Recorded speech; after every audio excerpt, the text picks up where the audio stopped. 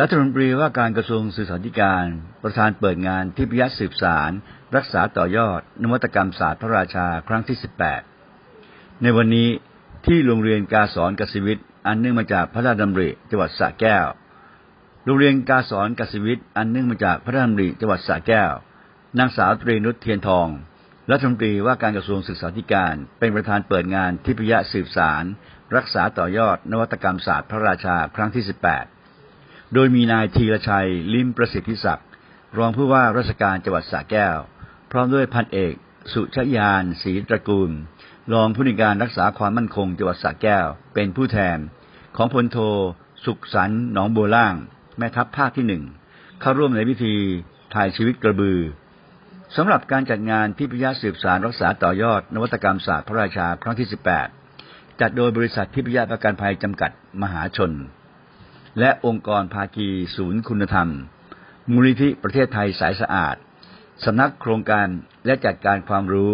กองทุนพัฒนาสื่อปลอดภัยและสร้างสรรค์ การท่องเที่ยวแห่งประเทศไทย สมาคมนักเรียนเก่า AFS ประเทศไทย และมูลนิธิทำดี โดยการนำคณะครูอาจารย์ที่รับการคัดเลือกจากทั่วประเทศลงพื้นที่ร่วมประสบการณ์การทำเกษตร ปลูกข้าวทำนา พร้อมร่วมอนุรักษ์กระบือไทย ส่งเสริมประเพณีการสู่ขวานควายที่มีมาแต่โบราณ หนึ่งในนั้น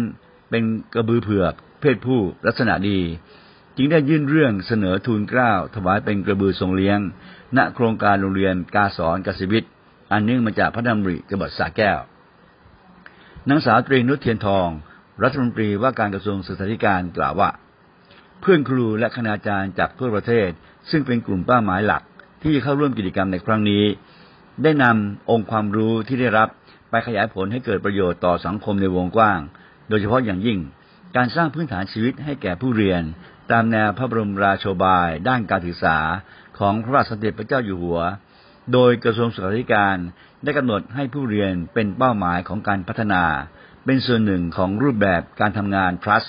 หรือการสร้างความเชื่อมั่นไว้วางใจให้กับสังคม อันเป็นนโยบายหลัก ที่กระทรวงศึกษาธิการได้ให้ความสำคัญ และมีการขับเคลื่อนกันอย่างจริงจัง ในตลอดรอบปีที่ผ่านมา โดยมีการสอดแทรกในเรื่องของโครงการและวาระต่างๆ มาอย่างต่อเนื่องอาทิ การเรียนรู้ตลอดชีวิต การส่งเสริมและการพัฒนาระบบเทคโนโลยีดิจิทัล เพื่อการศึกษา การพัฒนาระบบบริหารจัดการ และส่งเสริมให้ทุกภาคส่วน มีส่วนร่วมในการจัดการศึกษา โดยมีเป้าหมายก็คือ ทำอย่างไรที่จะให้ผู้เรียนนั้นมีความรักที่จะเรียนรู้ และไม่หยุดนิ่งที่จะแสวงหาความรู้ในทุกโอกาสของชีวิตนางสาวตรีนุชยังกล่าวอีกว่า มั่นใจว่าที่ผ่านมาได้ลงนามในประกาศของกระทรวงศึกษาธิการเรื่อง แนวทางในการปฏิบัติเกี่ยวกับกัญชา หรือกัญชงในสถานศึกษา ส่วนราชการ หรือหน่วยงานในสังกัด และในกำกับของกระทรวงศึกษาธิการ ทั้งนี้ ได้อาศัยอำนาจตามความมาตรา 12 แห่งพระราชบัญญัติระเบียบราชการบริหารราชการของกระทรวงศึกษาธิการ พุทธศักราช 2546 จึงออกประกาศแนวทางในการปฏิบัติ เกี่ยวกับกัญชาหรือกัญชงของสถานศึกษา ส่วนราชการ หรือหน่วยงานในสังกัด หรือในกำกับของกระทรวงศึกษาธิการก็คือ สถานศึกษา ส่วนราชการ หรือหน่วยงานในสังกัด และในกำกับของกระทรวงศึกษาธิการ ห้ามใช้กัญชาหรือกัญชงกับนักเรียนนักศึกษา หรือบุคลากรโดยเด็ดขาด เพราะอาจมีผลต่อการพัฒนาสมองของนักเรียน นักศึกษาและบุคลากร มิให้ใช้กัญชากัญชง เพื่อการนันทนาการใด ๆ ให้แก่ผู้บริหารสถานศึกษา ส่วนราชการ หรือหน่วยงานในสังกัด และในกำกับของกระทรวงศึกษาธิการกำกับควบคุมร้านค้าที่จำหน่ายอาหารหรือเครื่องดื่ม ในบริเวณสถานศึกษา ส่วนราชการหรือหน่วยงานในสังกัด และในกำกับของกระทรวงศึกษาธิการ ให้งดจำหน่ายอาหารหรือเครื่องดื่มที่มีส่วนผสม ส่วนใดของกัญชาหรือกัญชง อีกทั้งห้ามมิให้นำอาหารหรือเครื่องดื่ม ที่มีการส่วนผสมใด ๆ ของกัญชาหรือกัญชง เข้ามาบริโภคในสถานศึกษา ส่วนราชการหรือหน่วยงานในสังกัด และในกำกับของกระทรวงศึกษาธิการอย่างเด็ดขาดให้ผู้บริหารสถานศึกษาส่วนราชการ หรือหน่วยงานในสังกัด หรือในกำกับของกระทรวงศึกษาธิการ ส่งเสริมสนับสนุนให้มีการจัดกิจกรรม การจัดการเรียนการสอน การฝึกอบรม หรือการผลิตสื่อนวัตกรรม เพื่อให้เกิดความรู้ความเข้าใจที่ถูกต้อง เกี่ยวกับการใช้กัญชาหรือกัญชง และอันตรายที่อาจจะเกิดขึ้น จากการใช้สารสกัด จากทุกส่วนของพืชกัญชาหรือกัญชง ที่เกินปริมาณ ตามที่กระทรวงสาธารณสุขได้ประกาศกำหนดไว้ให้กับนักเรียน นักศึกษาบุคลากร ผู้ปกครองประชาชน หรือชุมชนที่อยู่ หรืออาศัยบริเวณใกล้เคียงกับสานศึกษาหรือหน่วยงาน เพื่อสร้างสังคมที่ปลอดภัยจากอันตรายของกัญชาหรือกัญชง การใช้กัญชาหรือกัญชง เพื่อการรักษาต้องอยู่ภายใต้การควบคุมของแพทย์ หรือการใช้กัญชาหรือกัญชง เพื่อการศึกษาวิจัย ต้องอยู่ภายใต้การกำกับควบคุม และดูแลอย่างใกล้ชิด ของผู้บริหารสถานศึกษา หัวหน้าส่วนราชการ หรือหัวหน้าหน่วยงานนอกจากแนวทางในการกำหนดไว้ ในประกาศฉบับนี้แล้ว ผู้บริหารสถานศึกษา หัวหน้าส่วนราชการ หรือหัวหน้าหน่วยงานของสถานศึกษา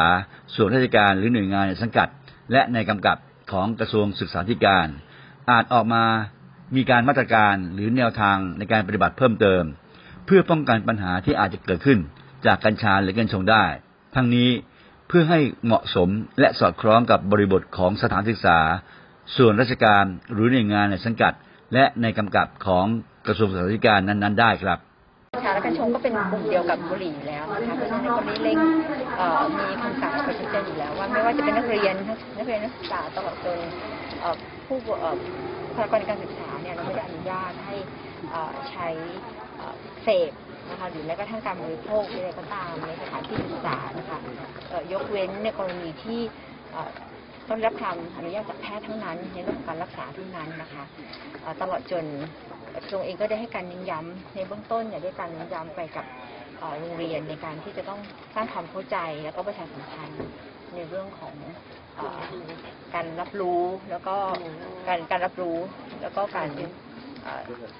ผลต่างๆ ในเรื่องของกัญชากัญชงตรงนี้ให้กับสถานศึกษาด้วยนะคะเบื้องต้นก็ได้มีการเร่งแล้วก็ทำความเข้าใจกันในผู้บริหารศึกษาด้วยโรงเรียนแล้วก็ผู้อำนการโรงเรียนค่ะครับในภาพรวมของเรื่องนี้นะครับ ท่านได้สั่งการไปยัง